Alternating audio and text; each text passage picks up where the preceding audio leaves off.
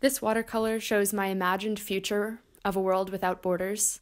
I decided to depict the temperate rainforest of fr- that I'm from in Washington State and British Columbia, and this painting takes place at what was once the nation state border between Canada and the United States, but all that remains of that sort of militarized, impermeable border is just a rusted out fence that a tree has fully consumed. And in the second part of this art, I tried to title this piece, but I couldn't come up with just one title. I was trying to show that while the tree is the central figure that meets the eye, I don't want to think of this painting as a portrait of a tree, as a bounded individual that's highlighted. I think of it as a portrait of a river because all the water that drips through the leaves and the moss is part of the river. What happens to that water happens to the river.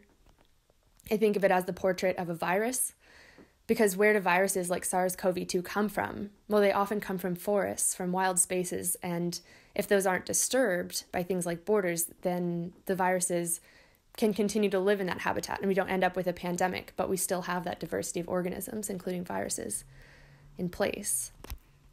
I thought it might be the portrait of a capital, because in this imagined future, political decisions don't just take place within privileged walls, but the voices of many more stakeholders are, are powerful, including the land and the water and many, many forms of human and non human life.